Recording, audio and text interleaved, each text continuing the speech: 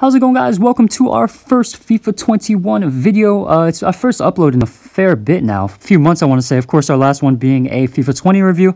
Uh, and yeah, it's quite unfortunate. FIFA 20 died out really early, uh, not surprisingly. But uh, you know, it was just a relatively dead game uh, in the la latter stages of it.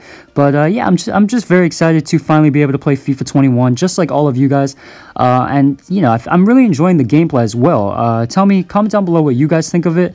But uh, I personally love it. I think the the game just feels much more balanced and uh, much more skill based and it's, just much better than last year because last year as you guys know it was just a defensive snooze fest so boring to play and the attacking just feels far more fluid. So you know players like anthony martial are a you know a blast to, to use you know? And uh, we used him in this 4 triple two. I'm still trying to get used to you know what works, trying to figure out uh, what to use, what to try, and uh, you know obviously with crossing back, you know I can see wingers being you know, very important. And the two striker formations could also work because of, you know, having more players in the center could contribute to, you know, more goals. So uh, we use this Martial card with Alex Teixeira up top, who's also fairly popular. Uh, it looks very good. And uh, you can definitely compare some aspects of each other's, uh, you know, each other's cards. So uh, we'll get into his stats. I will start out with his pace, 89 sprint speed and 88 acceleration. You know, he's got great pace. Uh, he doesn't feel rapid like a Teixeira, you know, so if you play him through on goal, he's not going to just blast past, you know, the center backs and absolutely obliterate them. But at this stage of the game, you know, he's he's got that pace where he will cause a lot of problems for the opposing defenses. So, uh, you know, the pace is fantastic.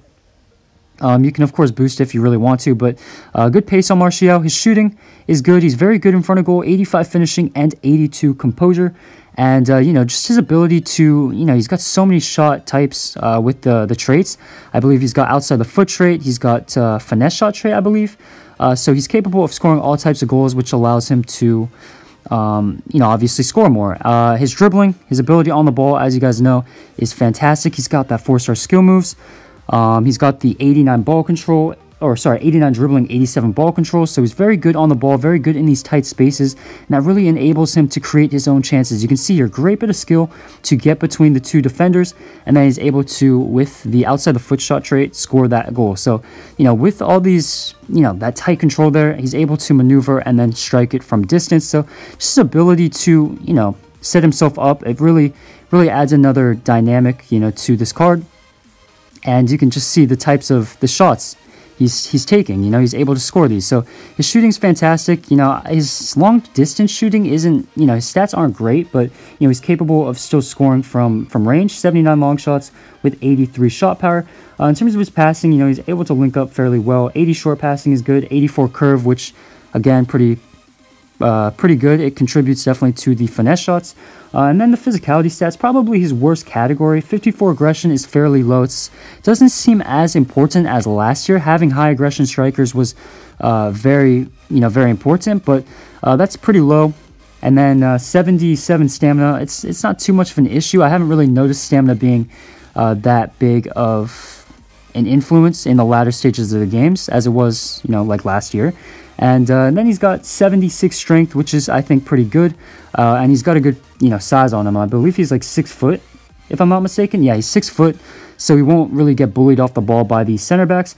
And then um, 70 jumping, 71 heading accuracy. So he's not really going to be exactly, you know, an aerial threat per se. But overall, I think this is just a really good, you know, well-rounded overall attacker. Uh, the three-star weak foot, again, you could argue is a bit of a negative, but, you know, he was still capable of scoring uh, on his weak foot. You know, I, I, found some of these statistics, I guess, aren't as influential as last year. So, uh, overall, I think this is, you know, a fantastic card, obviously, especially at this stage of the game. Do I think he's worth the price you're going to be paying him? Because, I mean, what, he's 160k is max on PlayStation and 70k on Xbox, so he's going to be really expensive. I don't know if he's exactly worth that. Obviously, you know, the league, the nation, and obviously the card, it contributes to that price. I'm not sure.